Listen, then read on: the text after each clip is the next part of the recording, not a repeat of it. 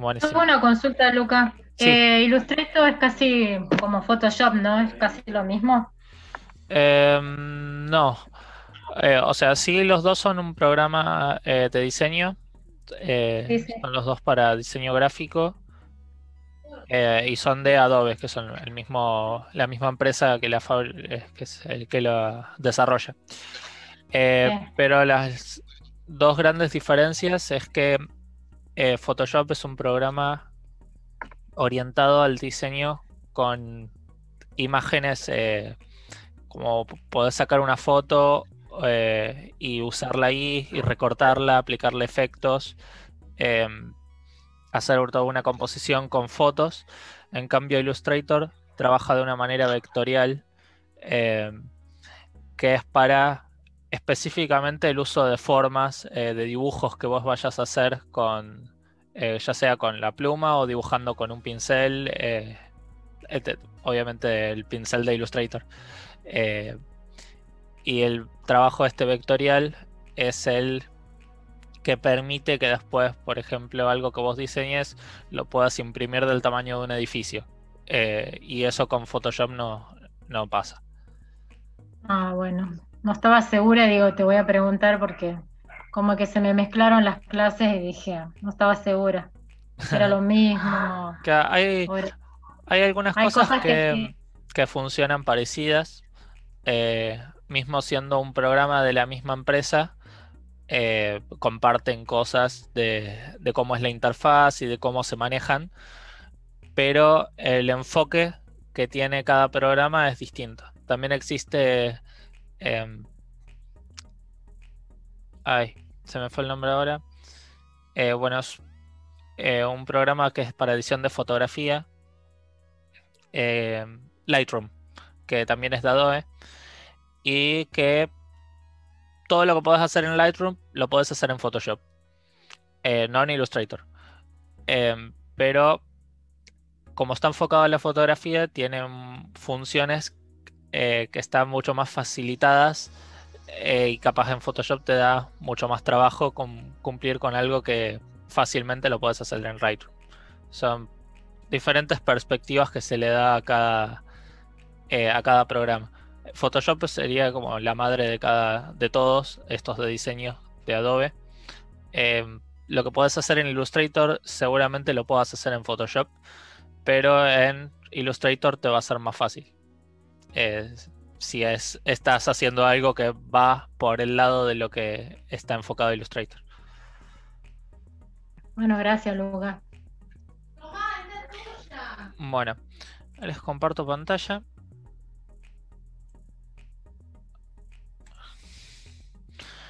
No me acuerdo si se las había mostrado esta página eh, en este curso, que es Behance, para como una red social de diseñadores. Eh, Acá se pueden encontrar muchos trabajos y cosas de otras personas eh, y sirve como para inspirarse o mirar ideas o copiar algún diseño, que es lo que vamos a estar haciendo ahora. Em, yo les voy a mostrar ahora en Illustrator cómo se trabaja, cómo se puede hacer eh, creando espacios de trabajo. Cuando abrimos acá el programa, eh, podemos elegir para qué queremos diseñar. Eh, o mismo yendo a nuevo, abre esta ventana para crear un nuevo documento.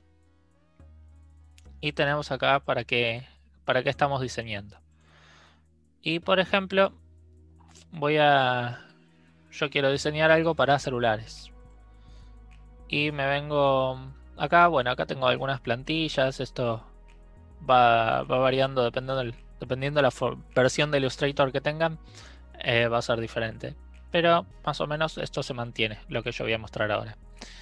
Y acá abajo tengo, bueno, las, las medidas. Voy a usar esta de acá, que es 1080 x 1920, que es la estándar. Yo lo podría hacer acá, pero no importa. Em,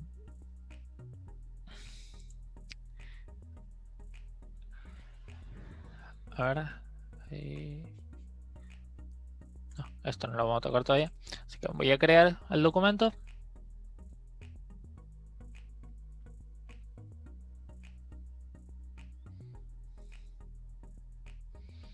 Y acá tengo, eh, bueno, mi, mi documento acá. Pero supongamos que yo quiero eh, agregar eh, otras cosas. Eh, yo quiero poner, em, hacer otra, otro diseño. Yo lo que puedo hacer es agregar otra mesa de trabajo. Así como lo hice recién. Voy a volver atrás, así lo podemos ver mejor. Eh, yo estoy haciendo un diseño para un celular, por ejemplo, es una historia para WhatsApp o para Instagram. Y voy a hacer dos distintas. Eh, una para poner primero y otra para poner después, pero está todo dentro de lo, que, lo mismo que estoy haciendo. Em, y capaz hacer dos documentos por separado em, me sea más incómodo porque o tengo que tener todos abiertos al mismo tiempo que me consume más memoria eh, o voy de uno a otro y bueno ¿por qué complicarlo cuando lo podemos hacer todo dentro del mismo? Entonces desde esta herramienta de acá eh, a ver eh, ¿dónde está que se me fue?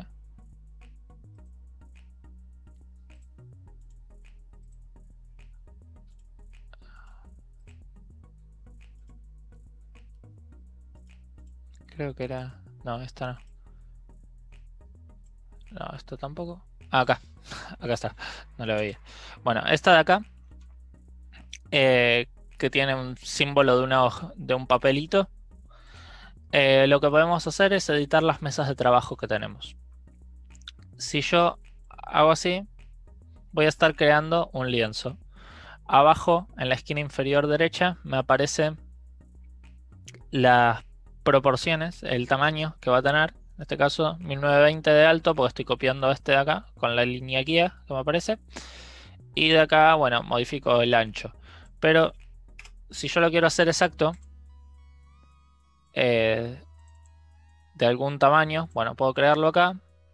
Y después editar el ancho y alto desde acá arriba. Por ejemplo, 1920 y yo quiero que este sea igual al anterior. O sea que sea de 1080 y ahí modifiqué el ancho. Esto lo tengo acá, lo puedo mover. Acá arriba me aparece el, nombre de la mesa de trabajo. Eh, y cuando yo me mueva dentro de cada una, por ejemplo, que voy a crear una capa.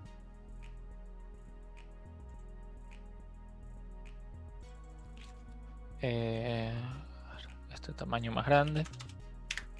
Ahí está.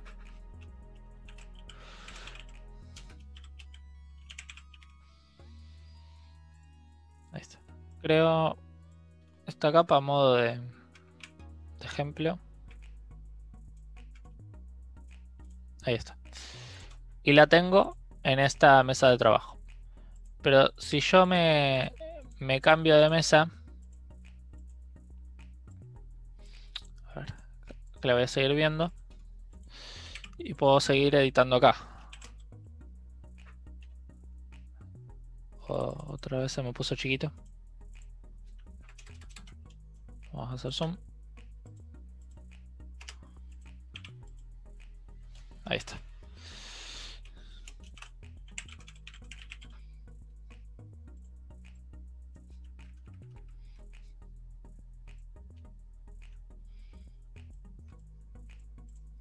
Y acá, bueno, voy a tener ambas eh, capas dentro de un mismo documento. Pero estas son hojas distintas.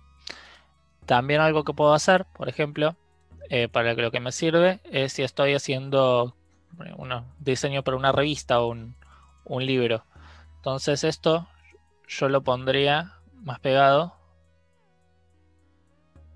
Lo puedo trabajar de esta forma así. Y me aparece la separación. No sé si me habrá quedado exacto. A ver. Acá sería importante que me quede derecho. Bien alineado. Las guías estas que aparecen en rosa me ayudan bastante para eso. Ahí está. Cuando aparece formar intersección es que está bien justo. Y ahora lo tengo acá. Y yo quiero, por ejemplo, quiero agregar una imagen, vengo a colocar. Em, y quiero agregar esta imagen.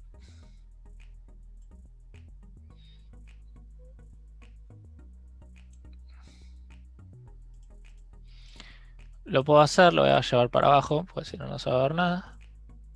Ahí está. Lo puedo hacer y puedo ocupar ambas mesas de trabajo. Y si yo no las tengo pegadas, también lo puedo hacer. Eh, por ejemplo, que yo tengo esta acá. Yo, este documento funciona de manera separada.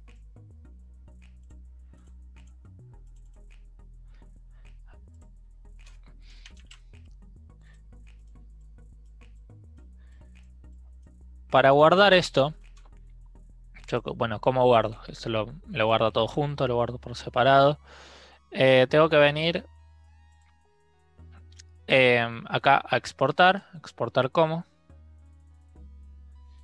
Y bueno, elijo el, color que quiero. Y acá abajo me aparece usar mesa de trabajo. Y le, pongo que me exporte la 1 y la 2. Exportar, RGB, bueno, esto es lo mismo de siempre. Y ahora si vengo, cuando termine de cargar.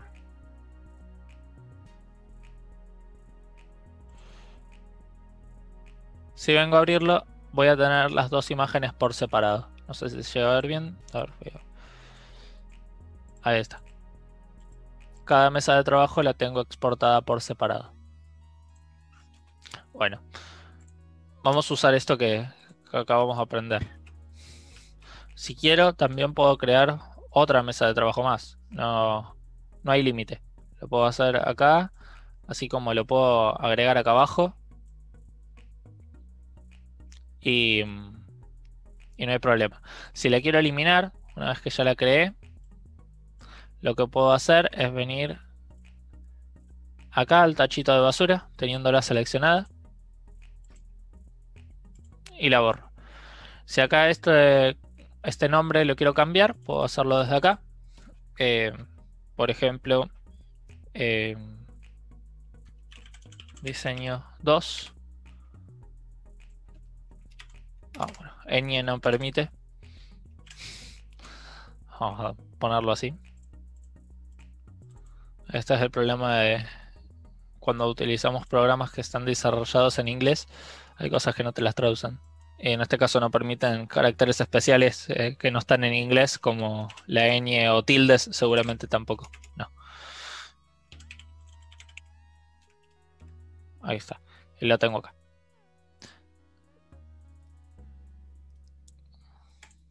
Perfecto. Entonces ahora yo voy a voy a empezar. Por ejemplo, si yo quiero colocar esto, pero lo quiero tener eh, a modo de ejemplo, porque me quiero copiar el color. Eh, yo vengo acá, creo un documento, uso el cuentagotas y ahí me copié el color. Ahora voy a colocar el logo. Vamos haciendo así. Coloco, coloco el logo. ¿Qué pasa cuando ahora que empezamos a hacer una composición? Eh, algo que está bueno poder utilizar son las guías. Acá em, bueno, podemos usar guías o cuadrículas. Por ejemplo, em, puedo mostrar cuadrícula. En este caso no me va a servir tanto eh, algo tan chico. Eh, para lo que me sirve es para poder alinear y que me quede todo simétrico. Eh, y que esté simétrico en, si hacemos una historia, un flyer, cualquier diseño, queda bien, queda prolijo. Entonces, Em, acá voy a editar la cuadrícula. Eh,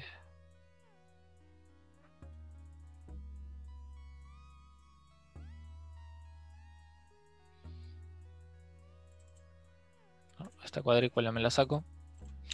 Y puedo acá me aparecen las reglas. Voy a mostrar las reglas.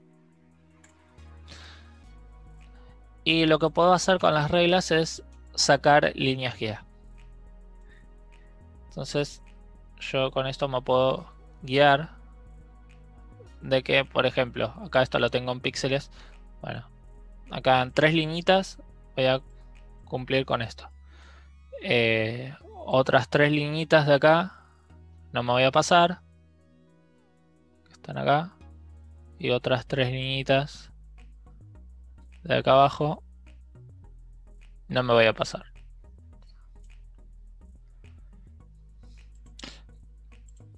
Entonces ahí ya me puedo ir guiando de cómo es que la lo voy a, componer. ¿Qué pasa? Que si quiero moverlas, eh, si me equivoqué, esta por ejemplo no me quedan los tres justos. Eh, no puedo.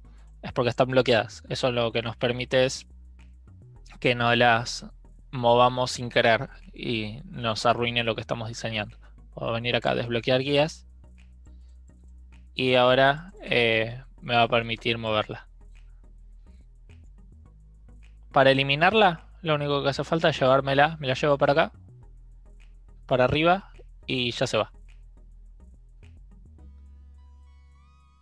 Entonces ahí me queda y tengo la guía eh, compuestas. Entonces ahora este lo que voy a hacer es ubicarlo y obviamente que me quede alineado con esto.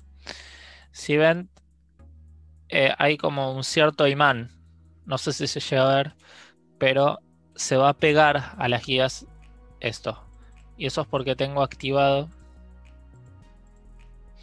eh, ajustar eh, a cuadrícula y las guías inteligentes. Entonces, cuando yo me acerque a las guías, eh, lo va a tomar como referencia. Y las guías inteligentes me van a ayudar a, por ejemplo, esto ponerlo en el centro.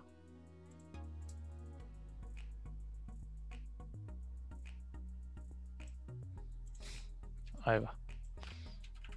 Igualmente, si quiero asegurarme que quede en el centro, lo selecciono vengo acá a las opciones de alineación y pongo alinear con mesa de trabajo. Entonces hago clic y ahí ya esto sí está sí o sí aplicado en el centro.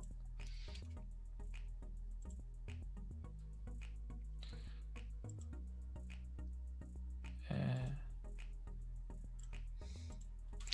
bueno, ahora voy a agregar un título.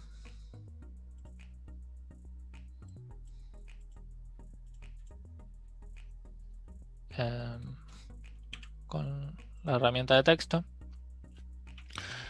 ¿Y qué vamos a ver de los títulos, de los textos ahora? Por ejemplo, tengo esto de acá.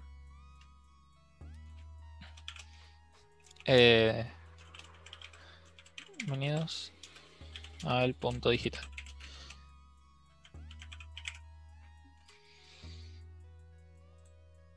Eh, bueno, ¿qué pasó acá? Que bueno, no me entró todo, acá esto lo tendría que achicar. Pero algo que puedo hacer, que acá, acá me está indicando que hay texto que quedó afuera. No, no, no lo quiero rotar. Uy, ahora se me fue.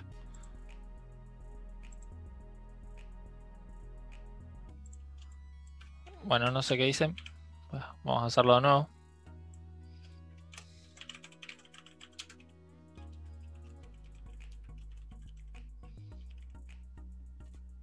Ahí está.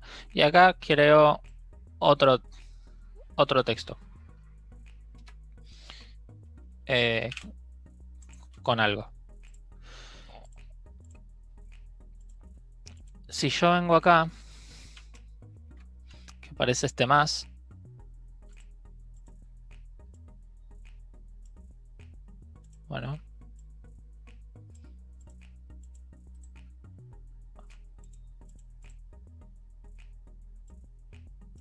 se me va el...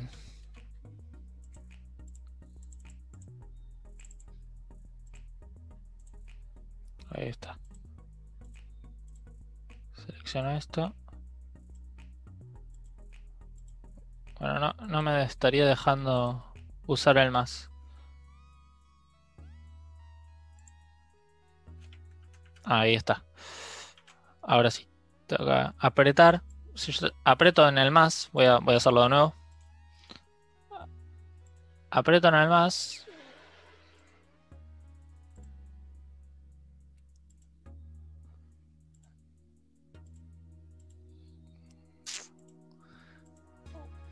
Debe ser un programa, un problema mío. Ahí está.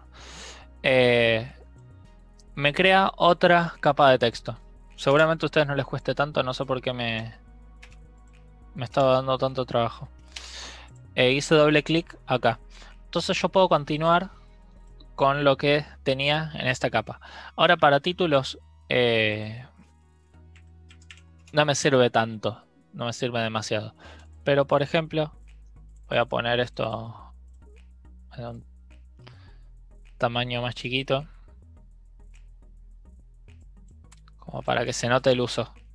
Eh, ahora 50. Y voy a agregar eh, unos Loren Ipsul.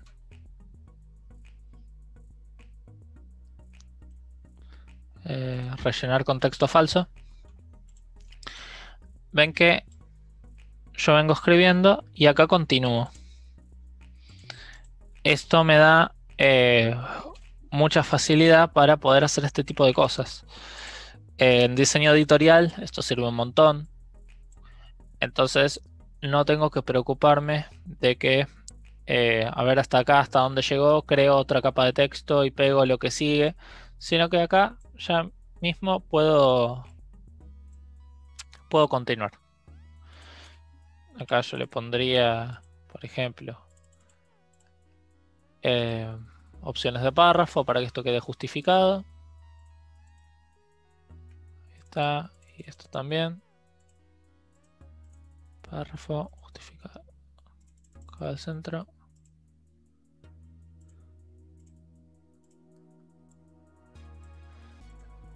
Y lo tengo, bueno, de esta forma que les comenté.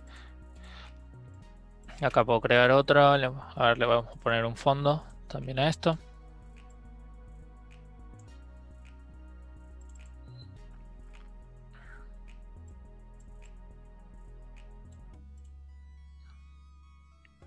Muy fuerte.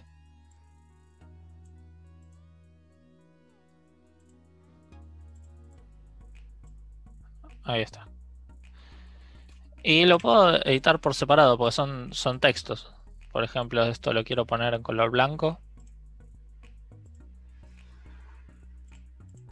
Lo puedo hacer y me queda de esta forma. Ahí está. Y no importa que estemos en dos mesas de trabajo distintas, porque lo que es como si fuese un solo documento, nada más que los podemos exportar por separado. Lo puedo copiar y lo pego de nuevo acá. ¿Y qué pasa? Ahora esto se nota que está en otra mesa de trabajo. Entonces si yo lo alineo, me reconoce automáticamente que estoy en esta mesa de trabajo y no en esta. Si yo lo paso para acá, pongo alinear al medio, me lo pasa a la otra mesa de trabajo. No. Pongo acá, selecciono donde quiero que esté. Ahí está. Ahora sí.